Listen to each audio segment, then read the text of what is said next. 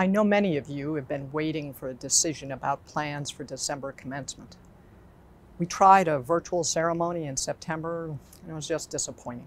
It seemed more like a reminder of what we couldn't do than a real recognition of your accomplishment. We asked our 2020 graduates about what you wanted, and we really wanted to make some kind of December ceremony happen if a manageable number of students wanted to do that but about 45% of your class prefers a December in-person graduation, which is a lot higher than we expected.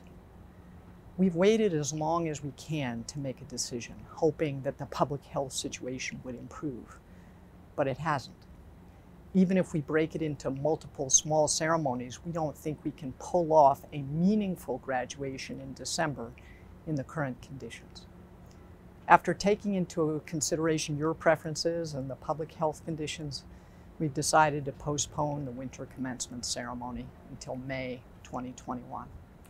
In May, we plan to hold a big outdoor commencement at the Sun Bowl and invite graduates from spring, summer, and fall 2020 to participate there's a lot of planning that goes into an in-person commencement ceremony. Everything from buying regalia and bringing in outside contractors to live stream the event.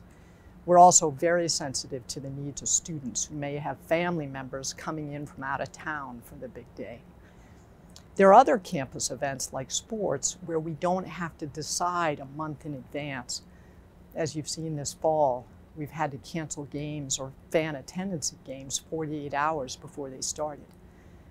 We don't have the same flexibility with commencement, so we have to make a decision now. A year ago, my own daughter graduated from college. It was a really big deal and a wonderful day. We want to give that same experience to you and your families. I'm really sorry it won't be in December when it does happen, I want to let you know I'm going to do everything I can to make it an absolutely wonderful day. God bless you all, and go Miners.